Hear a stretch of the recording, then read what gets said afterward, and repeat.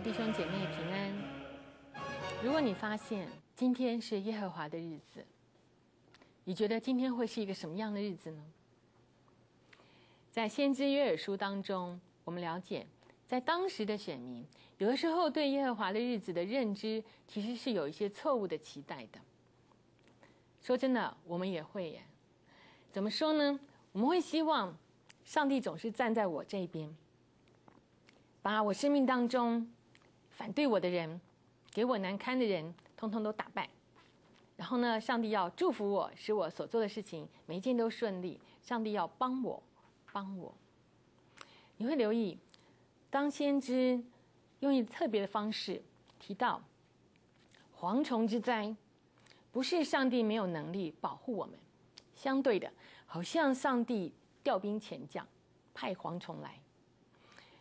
不但蝗虫之灾，还有一个更可怕的末世性的大军要来，这都是耶和华的日子，都是耶和华调兵遣将，目的是要来修理我们。哎呦，不是修理我们的仇敌哦。所以先知用这个耶和华的日子的呼吁，其实对当代选民而言是一个非常大的震撼。他们多么希望我所有的。敌人包含蝗虫、天灾，包含人祸，所有的仇敌都被上帝弥平，我过的幸福快乐的日子。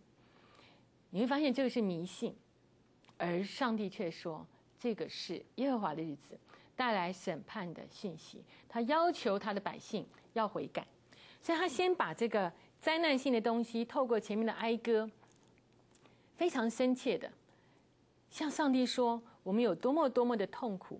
土地都荒凉的，牲畜也都悲鸣的，没有土产，没有祭司可以到你的跟前。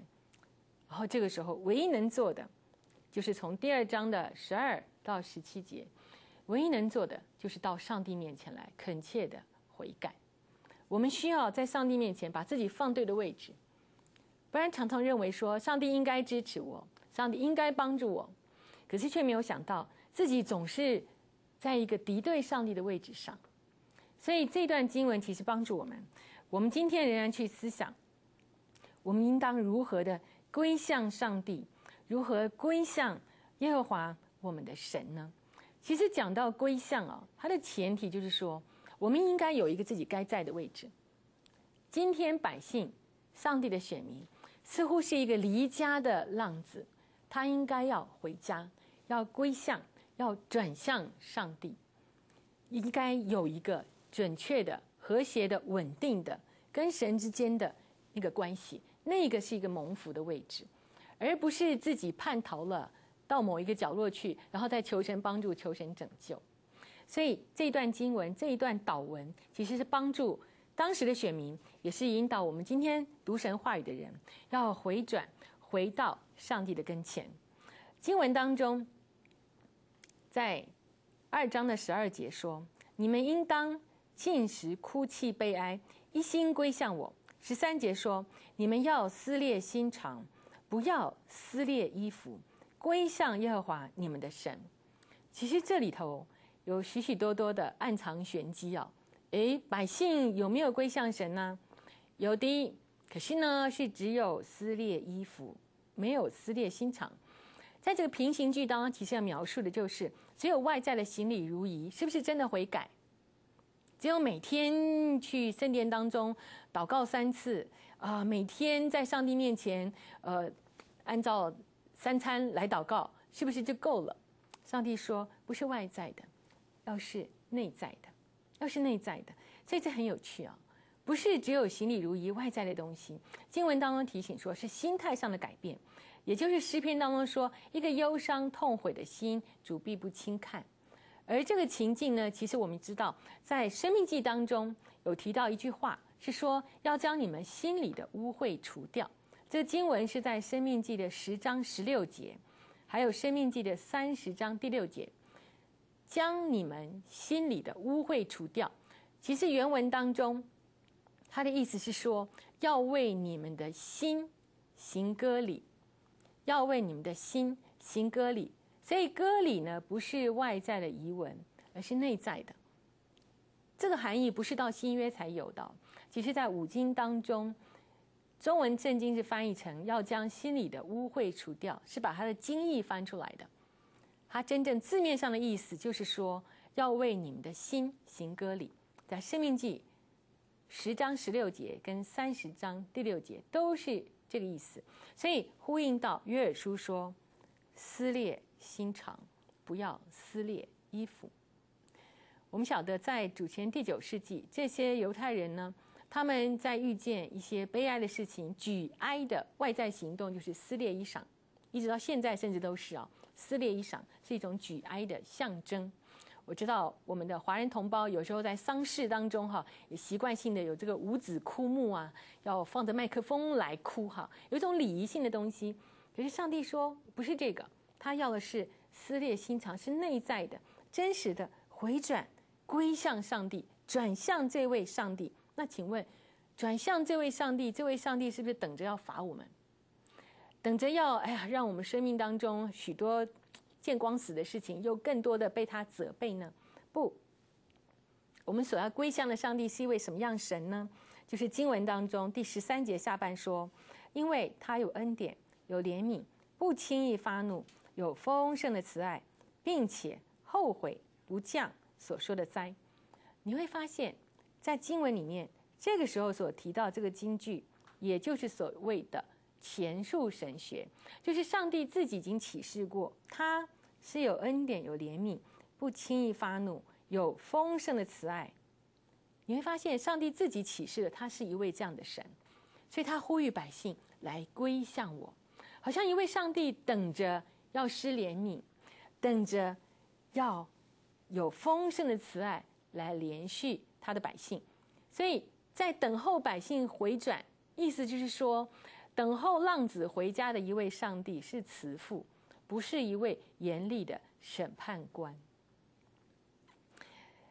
蔡老师记得我在神学院教书的时候，我有一位学生哈，这个学生有时候上课这个精神不济哈，这个会打瞌睡的，所以蔡老师就说：“哎呀。”某某某，你可以不用上课，你可以回寝室休息，因为我知道这个学生是有肝病。哈，我说你可以回去休息，因为他上课的态度不是很好，会影响其他的同学。哎，我和颜悦色的说，然后这个学生马上就很紧张。哦，蔡老师不，我要上课。我说你可以回去休息。他说不，我要上课。我说好，那你就上完了。所以他上课，然后我们在神学院里面住在同一栋楼里头，这是礼拜二发生的事情啊。他突然到了礼拜四。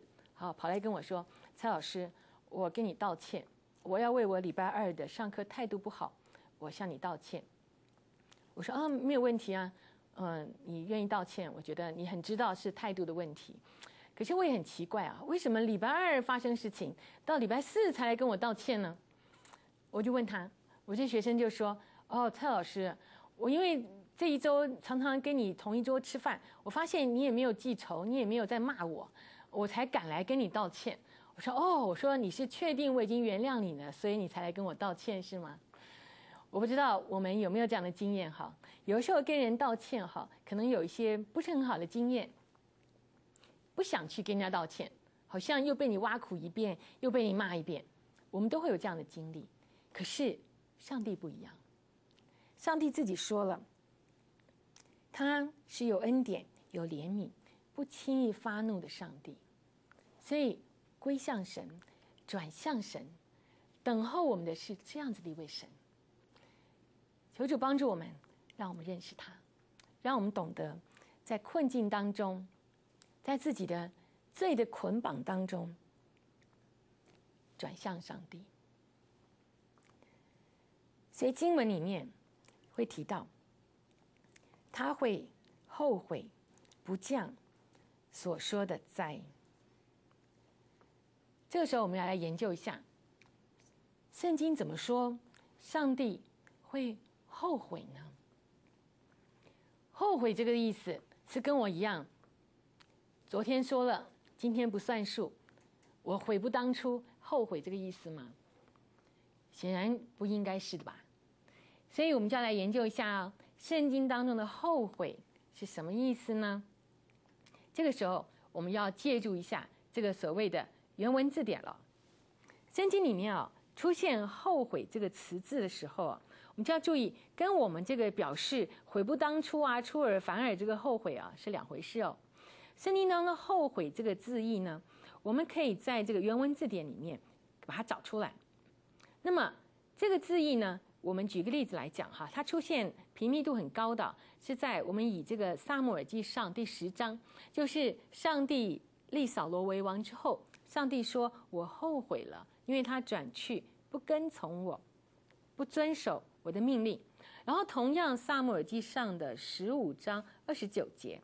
上帝又说：“以色列的大能者必不至说谎，也不至后悔。”咦，怎么上帝前面才说他立扫罗为王，他后悔了，后面又说他不后悔？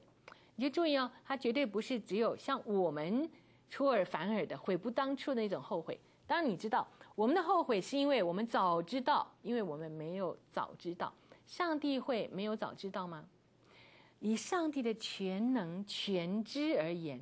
他会做后悔的事情吗？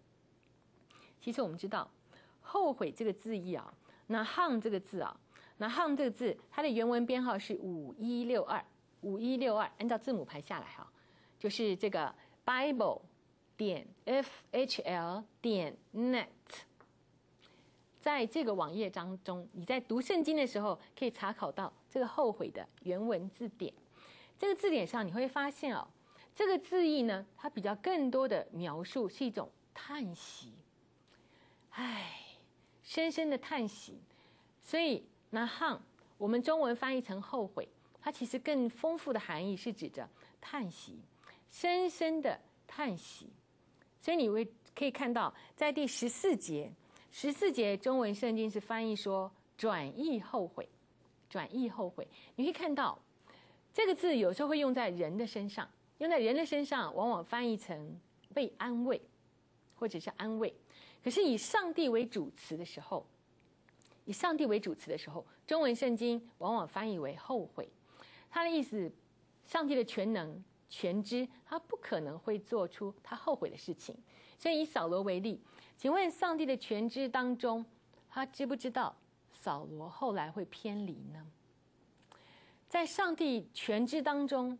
他知道扫罗会偏离，却仍然立扫罗为王。上帝拆了撒母耳在他的身边，可是扫罗却仍然偏离，渐行渐远。所以上帝说：“我后悔了。”这是一个非常丰富的情感性的字眼，他是深深的叹息：“唉，扫罗错过了每一个可以悔改的机会。唉，扫罗真的照我所知道的，他。”堕落了，他偏离了，所以其实这个后悔，那 “hang” 这个字啊，是描述上帝的情感。上帝不是像我们所想象冷冰冰的判官哦，你做错事推出去斩了，铁面无私。不，似乎上帝是打在儿身，痛在他心的一位上帝。人果真被逆了，上帝叹息，在叹息当中。他说他后悔立扫罗为王。当然，我们知道，在历史书里面，扫罗不是第一次做错事就被上帝废了。相对的，第一次做错事，上帝宣告提醒他了。他第二次又做错事，第三次你会发现是接二连三的，不是第一次，上帝就诶废了他。你几乎可以看到，先知书不也是如此吗？上帝在我们做错事的时候。上帝有没有立刻施行刑罚？不，上帝其实先差遣先知通知他要刑罚了，通知他要审判了，甚至透过约尔说：“看到蝗虫之灾了吗？可怕吧？还有更可怕的灾难等着我们。可是我们应当如何呢？归向上帝，这是我们的出路。上帝不是说推出去斩了，立刻周楚除三害就没事了。上帝的。恩典、怜悯、慈爱，他是立过约的上帝。他先通知他要刑罚，他要审判，然后邀请百姓可以转回归向他。他希望可以不用降罚，不用实施审判。所以你会发现，圣经当中会用这样的语句来描述神的后悔。其实我们知道，摩西很认识上帝哦。所以当以色列人拜金牛犊、远离神的时候，从出埃及记的三十二章到三十四章，你可以看到摩西带球。然后上帝就后悔不降所说的灾，也就是这一个经文提到说，上帝有恩典，有怜悯，不轻易发怒，有丰盛的慈爱。这一位上帝，我希望我们都能够认识他，他是等在那边要后悔的上帝，也就是说，他等在那边，希望我们可以转向他，他不用降灾，他希望他在。唉，深深的叹息当中，真的等到浪子回家，所以后悔是描述上帝丰富的情感。还有一处经文，我们可以更认识这位会后悔的上帝哦。经文是在耶利米书的十八章，耶利米书十八章第七到第十节哦。经文当中，上帝说：“我何时论到一邦或一国，说要拔出、拆毁、毁坏？”我所说的那一帮，若是转意离开他们的恶，我就必后悔，不将我想要施行的灾祸降与他们。我何时论到一邦或一国，说要建立灾职，他们若行我眼中看为恶的事，不听从我的话，我就必后悔，不将我所说的福气赐给他们。所以这段经文你会看到，上帝事先预告他会后悔。上帝事先预告他会后悔，可以看到，上帝有 A 计划，就是刑罚恶人。哎，结果这个恶人呢，听见上帝的 A 计划就悔改了，离恶行善。那上帝要不要执行 A 计划了？就不必了。神说：“哎，我等到恶人回头了。”所以这个后悔描述神的叹息，等到恶人回头了。好，上帝有一个 B 计划。他说：“他要赐福给艺人，哎，可是这个艺人呢，恃宠而骄，他呢转而行恶。哎呀，那请问 B 计划还要不要实行呢？不实行了。上帝又叹息了，本来可以蒙福的艺人，却离异行恶。神叹息，神多么不愿意，他要必须以刑罚来对待这个。”离弃神的艺人呢？所以经文当中是说，神就说我后悔，这很有趣啊。一位全知的上帝，却说他后悔，你更可以体恤什么是恩典，什么是神的怜悯。明明就是罪人所不配得的，可是这位全知的上帝，他事先说我会后悔。就是在一个恶人可以离恶行善，上帝不用降罚的时候，唉，他深深的叹息。等到恶人回头了，可是当一人离弃神而行恶的时候，神也深深的叹息。这是他所不愿意的。可是，在人选择背逆神的时候，经文当中会说神后悔，神叹息。所以，我想从这个丰富的字眼里头，我觉得更是体会上帝爱世人的心。他万不以有罪的为无罪，可是他却乐意广行赦免。谢谢神，透过耶稣基督所完成的救赎，他使每一个有罪的人总有一条出路来到神跟前得着赦免。那么在约尔那个当代呢，上帝立过约的，他是可以施行赦免的，他是可以以恩慈相待的。所以先知呼吁说：“我们来转向神吧。”他自己说过的，他有恩典，有怜悯，不轻易发怒，他有丰盛的慈爱，后悔不降所说的灾。所以先知呼吁百姓，我们来寻求这样子一位神吧。可是经文当中很有意思啊，你注意看第十四节，他说：或者他转意后悔，留下余福，就是留下献给耶和华你们神的素祭和奠祭，也未可知。你注意后悔。那两个字，你再注意，或者那两个字，是的，上帝说过他会后悔，可是是不是因为你悔改了，他就非后悔不可？是不是因为你在上帝面前呼求，他就非听你不可？所以你注意哦，这不是绝对的必要性哦。先知他在带领百姓悔改的时候，他真的认识神的主权，他认识神的主权。你会发现，祷告是将自己降服于上帝的旨意之下。祷告是使自己降服在上帝全权的旨意之下，而不是坚持我们所要的。如果坚持自己所要的，那个就是妄求了。先知带领百姓转向的是这一位可以行赦免的神。可是上帝是不是一定要赦免，一定要饶恕，一定要有怜悯相待呢？先知只是说，或者他转意后悔，留下余福。先知实在知道，我们今天落在约的咒诅当中，是上帝依约行事，他可以把它全部做完。可是这位上帝他也说了，他是乐意饶恕。怜悯有丰富的慈爱的神，所以先知在带领百姓转向神的时候，他真的说，或者他愿意，主权在上帝的手中，在这个祷告当中，他是迫切的，把所有的困难灾难向神说明，可是他仍然尊神为大。其实其他的先知书也有类似这样的情境啊，就是他们在呼求的当中，仍然会让我们看见上帝的主权。所以在阿摩斯书有说，要恶恶好善，在城门口秉公行义，或者耶和华万军之神向约瑟的渔民施恩。这是阿摩斯书。西番雅书有类似的。西番雅书二章三节说：世上遵守耶和华典章的谦卑人呐，你们都当寻求耶和华，当寻求公义谦卑，或者在耶和华发怒的日子可以隐藏起来，就是。上帝的公义的审判，耶和华的日子一直在历史当中进行。我们除了寻求他，谦卑的转向他，没有第二条路。可是，在谦卑的转向他当中，是不是一定要强求上帝不可以降罚呢？你会发现，先知真的认识神。先知说，或者，或者，我们可以被隐藏，或者，上帝能够怜悯。所以你会知道，上帝并没有欠我们一个怜悯哦。上帝并没有非饶恕我们不可，那个是额外的恩典。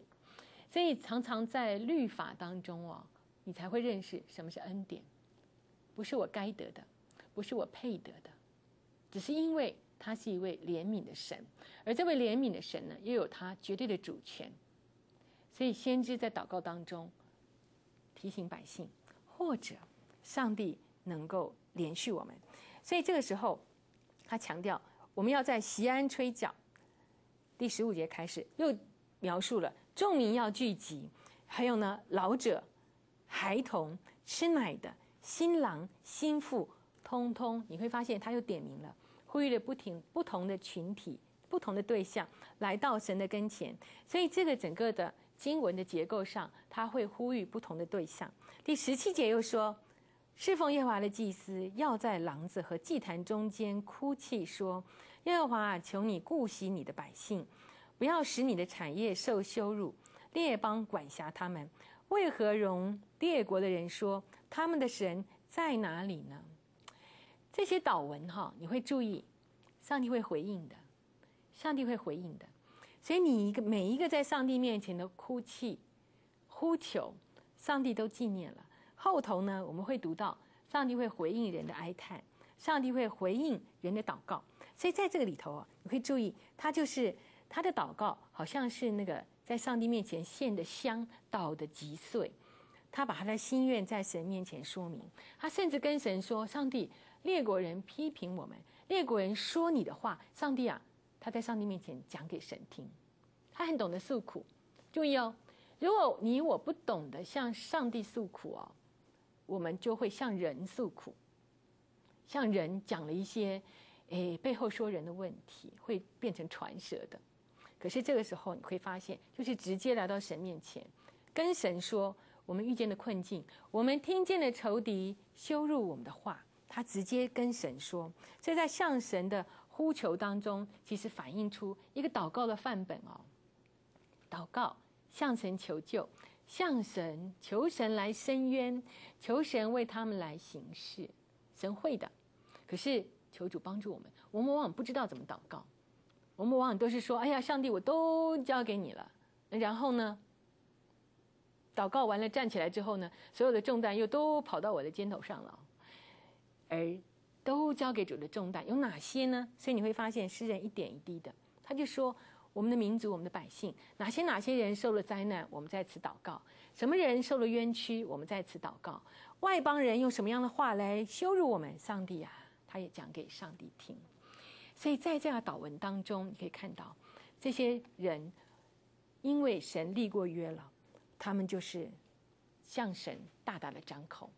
立约的神是以色列民族百姓的神，上帝关注他们，甚至他们所受的羞辱，他们所因为饥荒所受到的凌辱，上帝乐意回应。所以先知透过这些祭司带领的百姓，一起来到神跟前，向神呼求，等候上帝的回应。也让我们一起来祷告，亲爱耶稣，我们仰望你。主真的知道，在我们的国家、民族，在我们的社会当中，有许多让我们心里面觉得哀叹的事情，跟一些在上执政掌权者，主啊，我们只能向你来呼求。